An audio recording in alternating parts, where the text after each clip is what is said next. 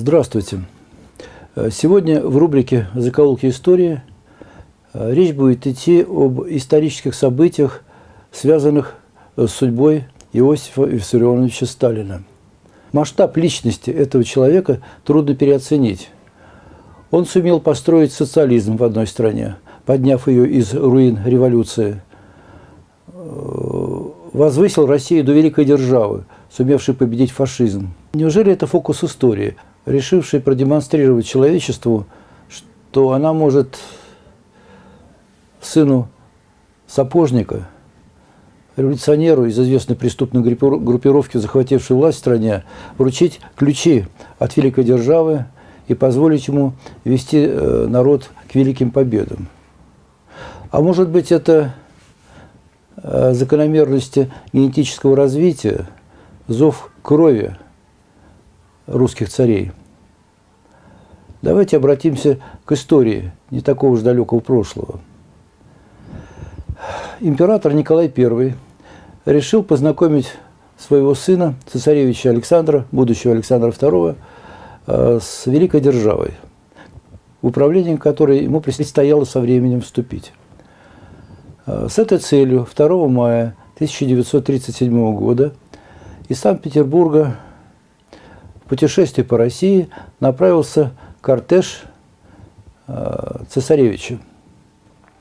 Сопровождать его поручили воспитателю – Александра, э, великому поэту Василию Андреевичу Жуковскому. Э, маршрут составлял сам император, и по его указанию сын должен был в течение полугода объехать всю Россию до Урала и даже побывать в Сибири.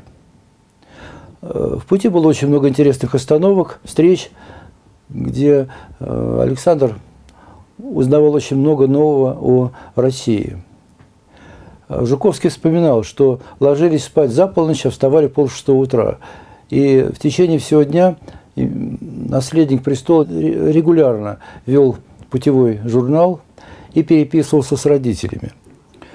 В одном из ответов ему император писал, «Ты первый из нас, всем отдаленном крае. Какая даль? Ну какое тебе на всю жизнь удовольствие, что там был, где еще никто из русских царей не бывал. Путешествия соблюдались строгие правила, э, никаких увеселений, никаких балов, торжественных встреч. Эту инструкцию Жуковский строго соблюдал. Но в одном из уездных городков – Э, Жуковский получил разрешение от императора ненадолго оставить экспедицию, чтобы навестить своих родственников, проживавших на пути следования. Путешествуя дальше без строгого э, наставника, цесаревич решил остановиться со свитой у хлебосольного помещика Алексея Степановича Каретникова. Но, по-видимому, дополнительным Поводом для этого послужила молва об его дочери, красавице Елене. На следующее утро Александр II эм, направился в Смоленск уже в сопровождении Елены Прекрасной. Между молодыми людьми вспыхнула взаимная страстная любовь, остановить которую уже никто не смог. Это была любовь наследника престола и первой красавицы э, Смоленской губернии, которая, кроме внешности необычайной, была еще блестяще образована и воспитана. Их взаимная любовь длилась несколько суток, пока не прибыл Жуковский и не отправил Елену в Кимборово, а Александр усадил в карету, и они продолжили путешествие. Следующей весной Елена Каретникова неожиданно была отдана замуж за Михаила Кузьмича Проживальского – это показалось странным всем, поскольку на руку и сердце Елены Каретниковой претендовали знаменитости.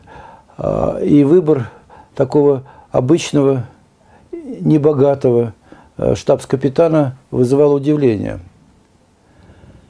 Тем более, что внешностью он не выделялся, он был высокого роста по описанию современников, худой, некрасивый, с мутными глазами и колтуном на голове.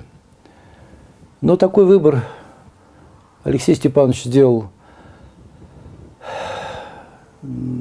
вынужденно. Ему пришлось прикрывать грех, случившийся в семье. И едва Елена и Михаил Кузьмич были обвенчаны, как у нее родился сын. Произошло это 31 марта 1838 года. Так в жизнь вошел Николай Михайлович Проживальский, будущий ученый, путешественник, исследователь Востока. Помимо всех прочих заслуг, он был еще генералом, генерал-майором э, разведки и выполнял специальную миссию на Дальнем Востоке. Есть много свидетельств тому, что Проживальский неоднократно посещал Александра II, и не только по долгу службы. Сам же император а, интересовался судьбой своего внебрачного сына с первых дней его рождения. Есть свидетельство а, того, что именно по велению а, Александра II была изменена дата рождения его сына с 31 марта 1838 года на 1 эм, апреля 1839 года. Вот у нас есть выписка архивная из Центрального государственного исторического архива, э, подтверждающая это. Вот фрагмент архивной копии свидетельства о рождении. Свидетельство. По указу его императорского величества из Смоленской духовной консистории.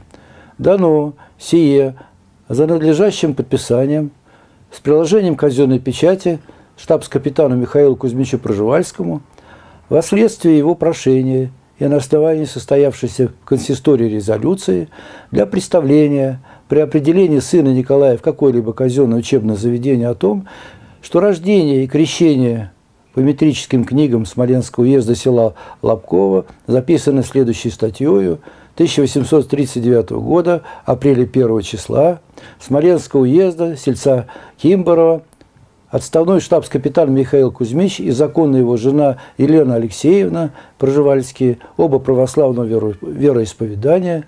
У них родился сын Николай. И вот так дальше тут витиеватый такой текст, немножко непривычный для нашего слуха. Э, нужно отметить, что сам Николай Михайлович Проживальский – в письмах своей матери указывал дату рождения 1838 год. Есть еще один любопытный документ. Э, когда Николай Проживальский учился в шестом классе э, школы в Смоленске, он серьезно набедокурил. И ему грозило отчисление из школы. Об этом узнал попечитель э, учебного заведения и, видимо, догадываясь о происхождении, Николая Проживальского решил отписать Санкт-Петербург.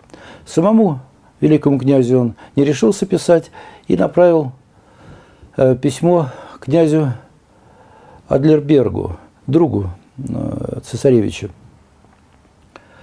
Пришел ответ от самого э, наследника престола. На прошение попечителя э, было начертано «Выпороть мерзавца и всего делов». Ниже стояла подпись великого князя. Уже став известным ученым, путешественником, в 1000 в 878 году Пржевальский поправлял здоровье на Кавказе. По приглашению князя Мамена Швили он посетил Горе, где познакомился с его родственницей э, Екатериной Джугашвили, урожденной Геладзе, 22-летней красавицы, грузинки, которая имела начальное образование, что в Грузии по тем временам считалось большой редкостью. Это было, считалось э, привилегией великих князей и священнослужителей. Э, молодая грузинка была замужем за э, сапожником из э, села Дидалило, Виссарионом Другашвили. Брак их не был удачным. Все трое детей, рожденные Э, один за другим умирали в младенческом возрасте. Есть свидетельство тому, что ее муж часто избивал жену, обвиняя ее в измене.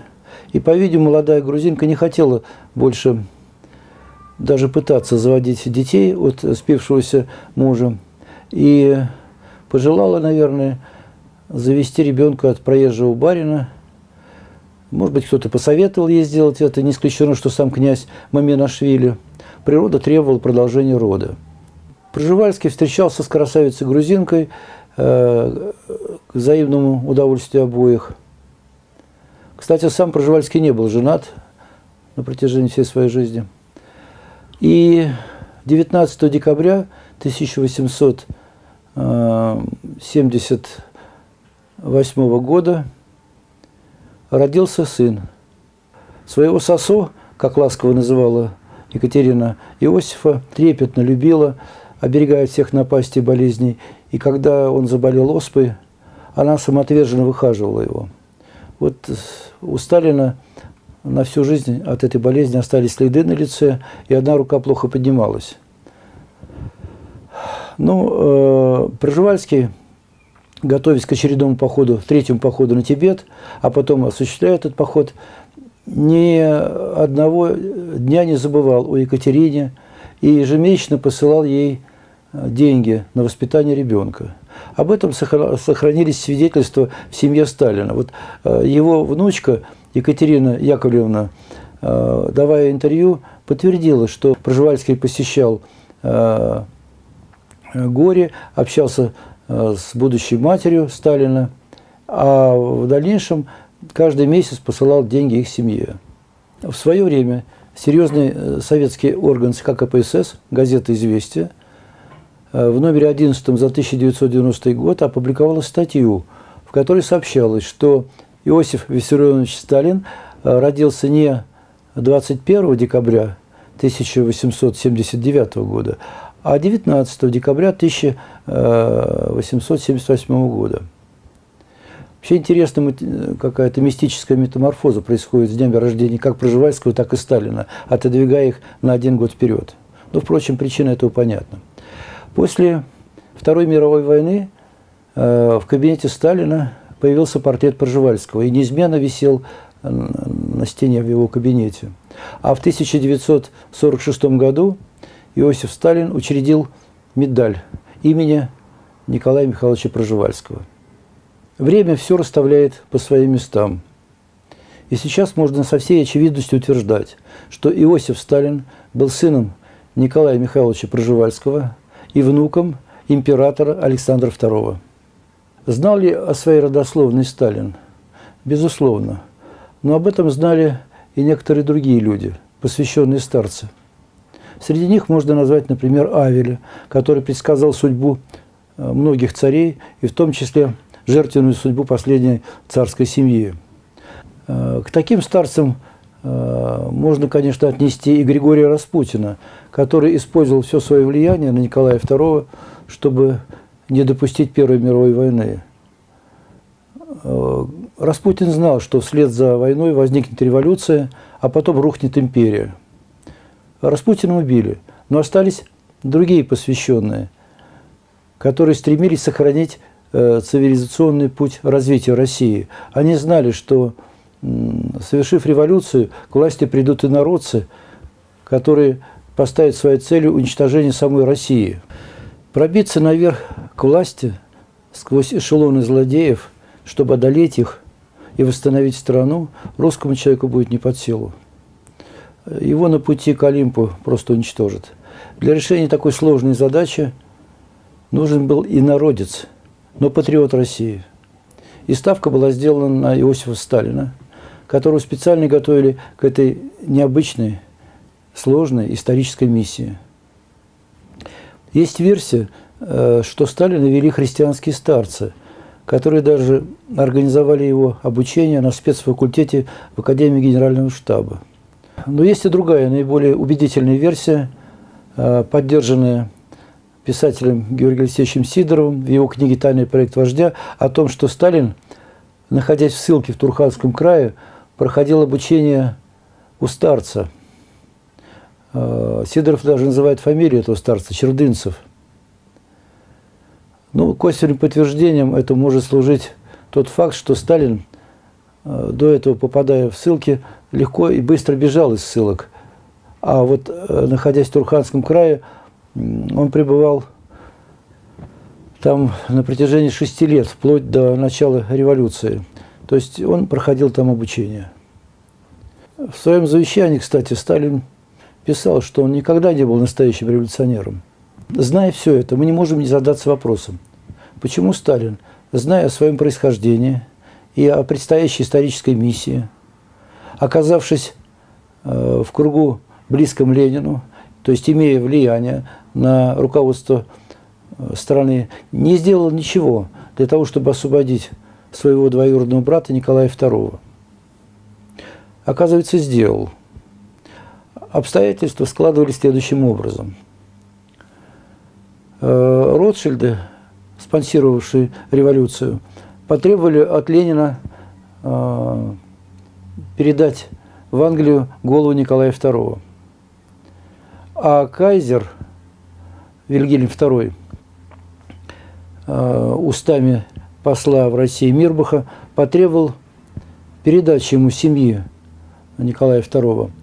Э, в первую очередь э, Александра Федоровна, которая являлась двоюродной сестрой кайзера, и ее детей, соответственно, детей Николая II, которые имели подданство германское. Более того, в Брестском мире, подписанном э, значит, правительством Ленина, в одном из протоколов э, был такой пункт о необходимости передачи свергнутой царской семье в Германию. И Мирбах объявил Ленину, что если он не выполнит требования кайзер Германии, то немецкие войска войдут в Москву, и революция будет задушена.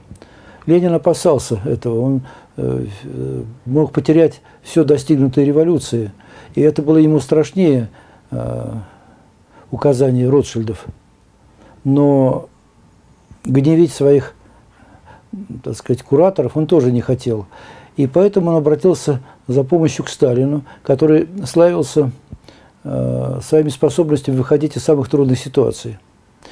И, по-видимому, просьба Ленина легла, что называется, на благодатную почву. Сталин с энтузиазмом взялся за это и в кратчайшие сроки сделал это четко и быстро. Он подменил царскую семью на дублеров двойников, которых у Николая II было целых восемь. Восемь семей, которые Николай II э, себе завел после событий 1905 года с тем, чтобы значит, не, не быть подвергнутым значит, э, злодейскому убийству где-нибудь на улице бомбистами. То есть каждый выезд Николая II из дворца сопровождался э, выездами других дублеров, других семей. Это как бы гарантировало ему безопасность. Вот из этой обоймы дублеров Сталин выбрал семью. Есть две версии. По одной э, расстреляна была семья Филатовых, но по другой э, семья Полей. Царская семья знала о пророчестве Авеле, о предстоящем заклании всей царской семьи, и, может быть, поэтому э, Александра Федоровна в 1906 году родила второго сына и тайно передала его на попечение и воспитание монахам.